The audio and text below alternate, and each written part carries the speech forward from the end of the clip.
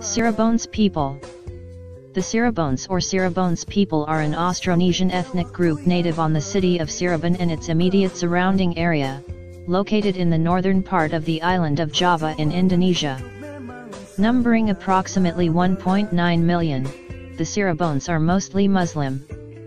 Their language, Cirebonese, is a mixture of Javanese and Sundanese language, with a heavier influence from Javanese, and as such is variably classified as either a dialect of both of those languages or as an independent language.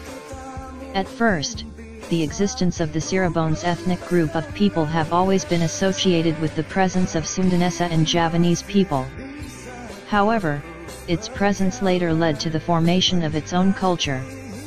The existence of the Cirebonese ethnic group that does not consider themselves as Sundanese or Javanese people was finally answered in the 2010 population census whereby a column that specifically mentions Cirebonese was made available.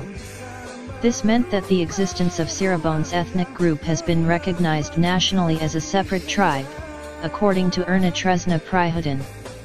The customs of marriage attempts to elevate local traditions with the emphasis on Islam as the center of the ceremony. The customs of Cirebonese wedding has its own local moral values in the context of the simplicity in the Cirebonese community way of carrying out large celebrations. Such example is in the Cirebonese dowry customs which only requires tubers, vegetables, and valuables, as in the form of jewelry or cash according to the groom's means where in carrying out those requirements Cirebonese community will prioritize Islamic elements more than others, and among them is to avoid RIA, the attitude of wanting to be praised.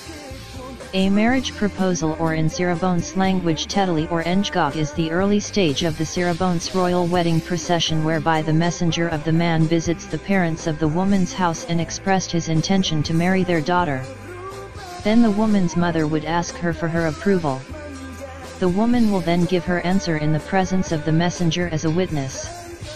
After receiving the answer, the messenger and the woman's parents will have a discussion to determine the wedding date.